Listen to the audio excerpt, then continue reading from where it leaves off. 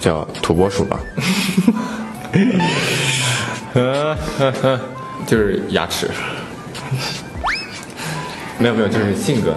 性格啊，不是，就是尖叫。好，你别说。说起肖战和王一博，那真的是一对活宝了。肖战、王一博在《陈情令》之前还真的不算是很火，虽然他们一直有作品，只可惜没有大红大紫。然而一部《陈情令》呢，直接让王一博、肖战红遍了大江南北。这部电视剧也已经成为了经典，无论从讨论热度还是播放量来看，都是一个很高的数据。九点一的高评分，九十四点五亿次的播放，一百多万人的点赞。因双男主剧走红的演员，也顺势成为了国民流量担当。从之前到现在，关于这部剧啊，以及两位主角肖战、王一博和他们所饰演的角色魏无羡和蓝忘机的话题，只要提起他们中的任何一个，那么相关的话题讨论，竟然是其他明星都无法难拥有的一个热度和高度。从剧里面的蓝忘机和魏无羡，可到现实生活中的博君一肖。自从二零一八年《陈情令》开播以来，“博君一肖”这四个字啊，就势如破竹的冲上了超话榜第一，并且稳坐桂冠两年多。在明星势力排行榜当中，王一博获得了第一名，而第二名呢，就是肖战。肖战是曾经的月榜第一、年榜第一，作为国内流量最高的一位流量明星。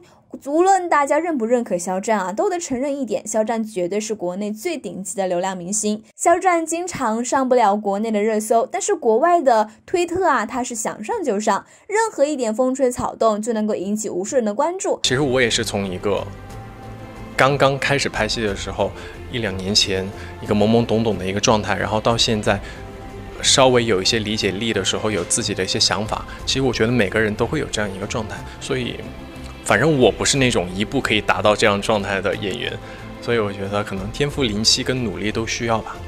王一博是一个真性情的人，在鱼龙混杂的娱乐圈，可以一直做自己，喜欢的事情做到极致，保持本心，不忘初心，这一点很难得。他用童年十年的时间来证明自己，成就自己。我想，这么一个有想法和主见，对自己有要求这么高的人，应该不会随便把一个人当朋友，并且在《天天向上》的节目中说，二零一九年收获了一个好朋友，一年的收获只有一句话：好朋友，那就足以证明王一博对。在这段兄弟情的真心，能够得到王一博这样真心的肖战也不会差，毕竟物以类聚，人以群分嘛。就魏无羡或蓝忘机，嗯，就很简单单纯吧。嗯，你可能比较喜欢那种就直接一点的，嗯，对，对，不要拐来拐去，对对对，有什么说什么。那跟肖战一起拍戏的话，私底下聊的比较多的是什么东西？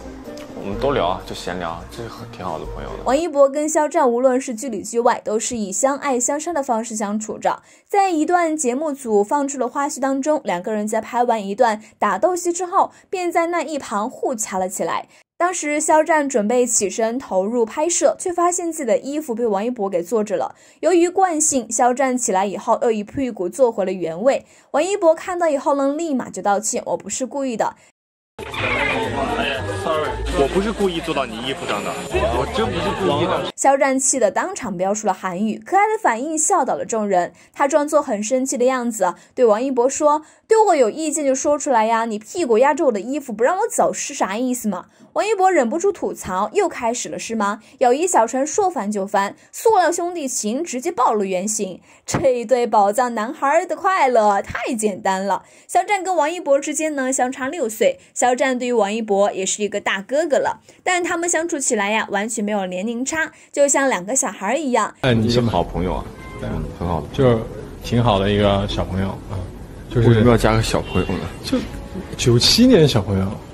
那我也没觉得你多老啊，你现在啊算了，我们今天休休，就是挺好的一一个一个一个朋友，嗯，就是嗯，反正挺好的，就不会有就感觉有年龄的差距。剧迷和粉丝们也是非常希望看到他俩的互动，不禁羡慕这样的友谊呀！希望他们在接下来有更多的合作，也希望他们友谊长存。